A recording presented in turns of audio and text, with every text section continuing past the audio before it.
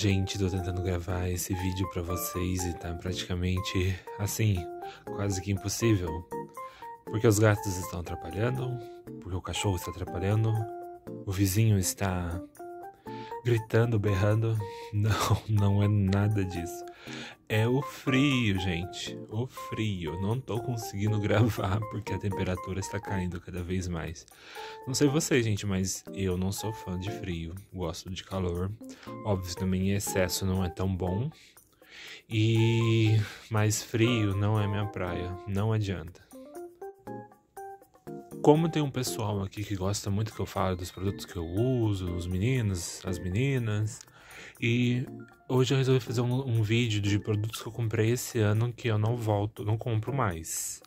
É, por, é, inclusive eu quis, eu quis incluir um perfume, o Luco Forever, que tem até resenha dele aqui, gente. Esse perfume aqui, ele é só bom na hora. Não que ele então, gente, não que ele seja ruim, entendeu? Mas em questão de duração, ele não dura praticamente nada. Nem uma hora esse perfume aqui dura. Teve gente que gostou, mas eu vi boa parte do meu grupo, da turma que resenha perfumes, que não, não achou isso aqui uma água de chuchu. O perfume é caro, não é barato. Eu falo assim, caro, né? Acima de 100 conto, é bem carinho já para um perfume que não dura nada. Nada contra o cantor, viu, gente? Não é contra o cantor jamais. A embalagem do perfume dele é linda. E o Luca Bad, que é uma das coleções do perfumes, né? Um que a linha dele é bem grandinha, eu acho excelente. Agora esse Forever, que realmente é uma aguinha de chuchu. Linda embalagem, lindo frasco, diferenciado, mas como perfume para mim, eu não compraria de novo. Gente, é, eu não sei se é pessoal, eu não sei, provavelmente sim. As empresas de cosmético devem olhar, obviamente, né? As pessoas que fazem resenha. Eu acredito que eles olham mais para os grandes, né? Eu, que ainda não sou tão grande aqui no YouTube, eu acredito que eles não devem olhar assim, né? Sei lá, o departamento de marketing, essas coisas, deve olhar a gente fazer resenhas. Mas acredito, às vezes, que eles podem até olhar, porque eu faço resenhas, às vezes, de determinado produtos que o, o pessoal do YouTube aqui não costuma fazer. Esse Elixir aqui mesmo, é um Elixir que foi lançamento, eu acho, no começo do ano, e tem resenha dele aqui no canal, Elixir Revitalizante de Melancia e Água de Coco, da Abelha Rainha. É, o que eu tô querendo dizer, gente? Porque eu, às vezes, eu falo mal do produto aqui, principalmente da abelha rainha, não falo mal do produto, os produtos dela são excelentes, como vocês falam, como diversos vídeos meus aí que tem produtos da abelha rainha eu falo bem, mais bem do que mal até, né? Mas quando eu falo que eu não gosto, como esse aqui, que eu acho que ele é um, um falso hidratante, promete ser bem hidratante, mas para mim não é. E o que eu tô querendo dizer? Toda vez que eu chego com um produto novo da Abelha Rainha, eu marco eles lá no Instagram. E eles não postam as minhas coisas no status deles sabe? Eu vejo que eles visualizam é, o meu stories. Que nem eu fiz uma foto linda aí com os lançamentos aí dos multifuncionais, sabe aqueles sprays de ambiente que tem vídeo aqui no canal deles? Eu postei lá no YouTube a foto, YouTube não, no Instagram, no Stories a foto, e eles não postaram, repostaram no Stories deles. Não que isso, né, tenha a ver, mas eu já fiz várias postagens lá da Abelha Rainha marcando o Instagram oficial da empresa e eles não repostam. Fiz cada foto bonita e eles não repostam. Repostam umas fotos lá nada a ver, uns vídeos nada a ver e as minhas eles não re repostam. Então eu acredito que eles possa ser que eles estejam olhando os meus vídeos aqui no canal. Pode, pode acontecer. Apesar de ser pequeno no canal ainda, mas eu acredito que eles possam estar olhando. Esse elixir, gente, que eles falam que é hidratante, pra mim não hidrata nada. Você tá passando só um brilho no seu rosto só, sabe? E mais nada. Tem um cheirinho de melancia, levinho, gostosinho, cheirinho mas para mim o que eles falam que o produto hidrata, isso, aquilo, não é nada, é só dinheiro jogado fora isso aqui, entendeu? Então para mim isso aqui foi uma bobagem. Gente, estou usando esse Renew, tratamento duplo anti-sinais e marcas de acne. Era o meu sonho a empresa trabalhar com a linha Renew para acne. Nossa, quando eu vi que lançou esse produto aqui, eu falei assim, claro que eu vou comprar. Esse é o meu segundo produto da, da linha Renew de tratamento de acne. Já tá vazio, acabou. Eu não vi a hora de acabar ele também, gente, por, mas é, vamos dizer que eu acho que eu senti mais hidratante do que a função dele, que é acabar com as acnes. Então, para mim, eu não vi muita diferença esse produto aqui, não. É um produto caro, entendeu? Obviamente tem produto mais caro que eles. É um produto que eu acho que tá 130 reais ou 139 reais, não lembro agora o valor. Mas é um produto bem caro. Esse é o meu segundo, porque quando lançou eu comprei dois.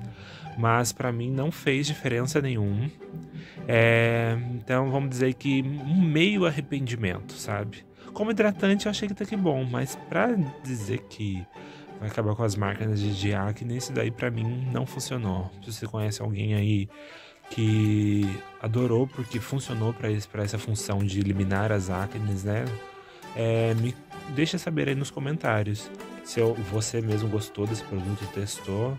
Me fale sobre ele aí nos comentários, que para mim esse produto aqui eu não repito mais. Só se vier algum preço aí muito bom, às vezes vale a pena até tê-lo. Mas pelo valor que ele tá agora cheio, nossa, não perco meu tempo. Gente, tem também aqui da linha Cuide-se Bem do Boticário esse alívio, sabonete líquido, líquido vaporizador. Gente, é um produto que lembra, acho que meio que Vick, sabe? Derrete na hora do banho ali, você passa o sabonete na hora do banho ali, meu Deus do céu, causa um ardor, sabe? E às vezes se você está com alguma pele que você nem vê que tem talvez um arranhão, um machucadinho, isso aqui arde pra caramba. E nem é por isso, né? Que nenhum cosmético você deve usar em, em partes assim, que, né, que esteja machucado ou lesada. Mas é um produto assim que eu não, não vi nada de diferente, nada de legal também não. Eu acho que é um produto caro, na época eu paguei 30 reais. E que não, não tem assim nenhum tipo de função. A única coisa boa dele, assim, que ele lembra um pouquinho do Vic, né? É que ele parece que dá uma aliviada no, no nariz entupido. Isso eu já senti.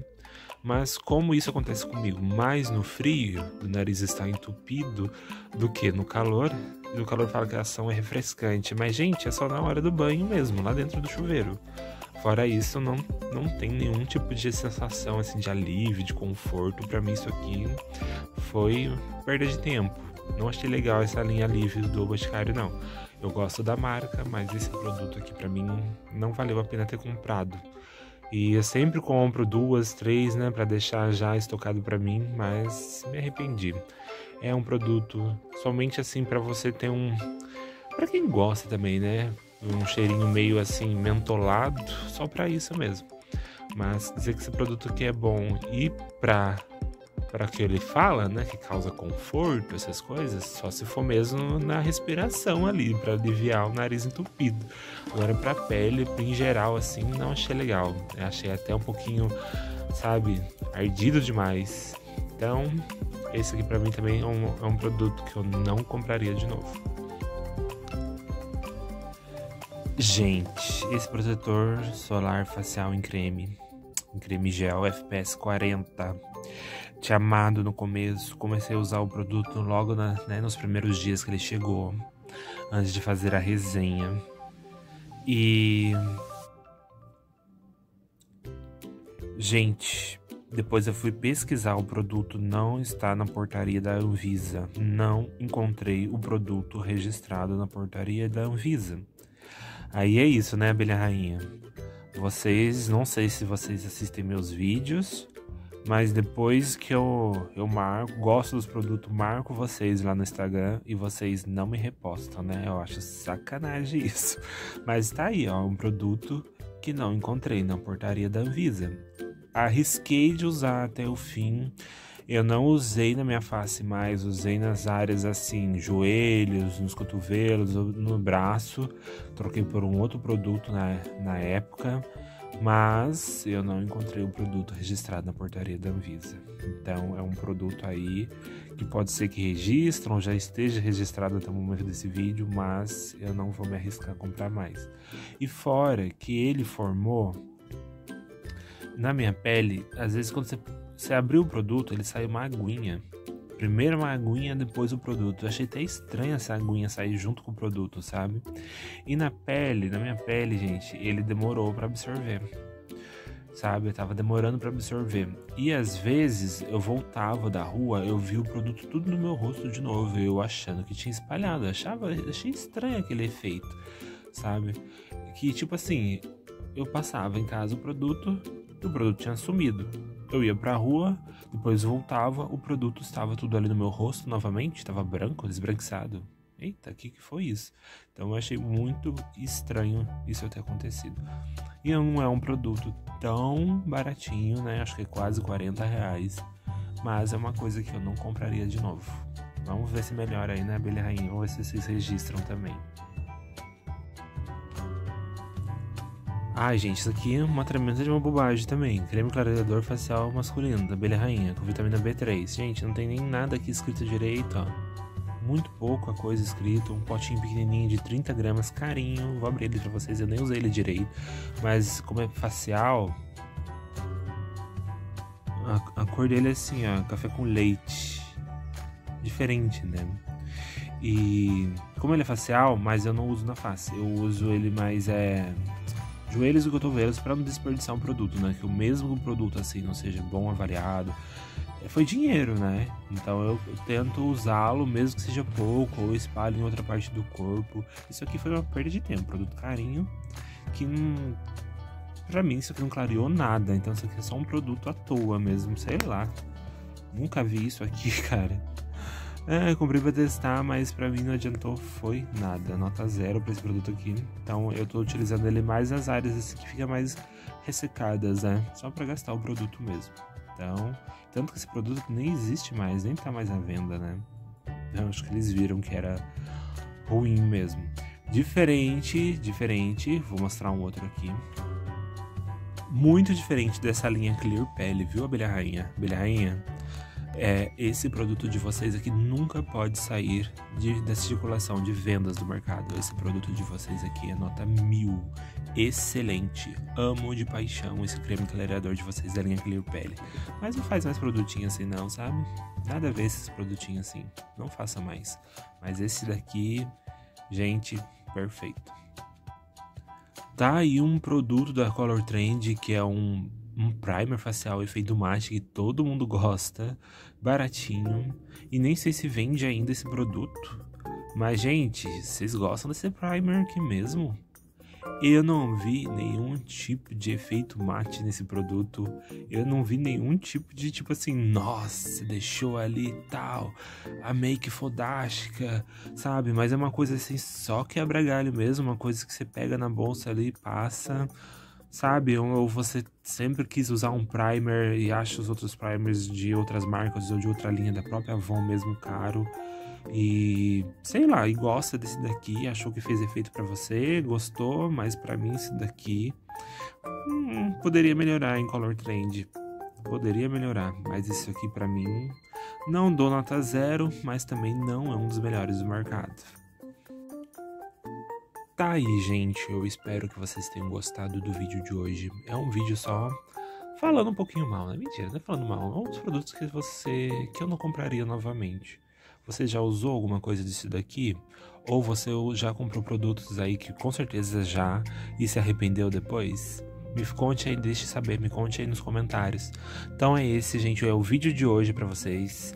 É, eu espero que vocês tenham gostado deixa seu like, se inscreva no canal se você caiu aqui de paraquedas, ativa o sininho para você não perder nenhum vídeo e até a próxima, gente. Se agasalhe, tá frio demais. Tchau, tchau.